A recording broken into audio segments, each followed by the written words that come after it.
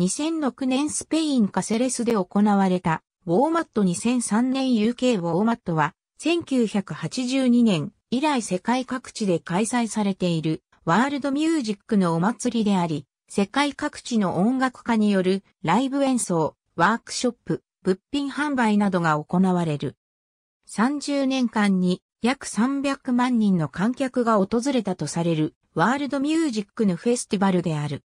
2013年時点で開催回数が160回となり、ギネスブックに世界最大の国際音楽フェスティバルとして認定された。イギリスのミュージシャン、ピーター・ガブリエルが中心となって企画され、第1回はイギリスサマセット州シェプトン・マレットで1982年7月に開催された。この時には世界中から集まった演奏者は22カ国300人に上ったが、この時は工業的には25万ポンドの赤字を出した。その後、ヨーロッパ世界にワールドミュージックを広める牽引者として、ヌスラット・ファテ・アリハーンなど多くの世界中のミュージシャンの人気を高めることになった。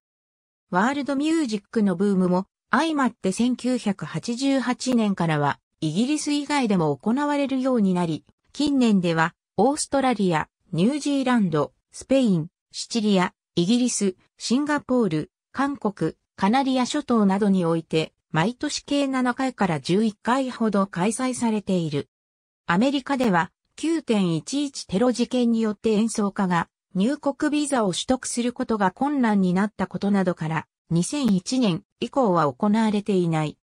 日本では横浜港未来地区のパシフィコ横浜の開館事業として1991年にウォーマット横浜フェスティバルが開催され、同所で5年間行われた。ロシアでは2013年にウォーマットが初開催された。北カフカスの有名な保養地、ピャチゴルスク近郊の山腹に人々が集い、ロシアトゥバ共和国のユニット、フインフルトゥ、ロシアフォークロックのスターのペラゲーや、バルセロナのムヤヨリフ、パキスタンのアシフ、アリザルダリ、ノルウェーのマリボイネなど、世界各地の音楽家や音楽グループが生演奏を行ったほか、郷土料理を振る舞ったり、職人たちが伝統工芸品を作る様子を披露した。2009年スペイン、カセレス。メイン会場。茶色の壁面には、フェスティバルの公式ロゴが投影されている。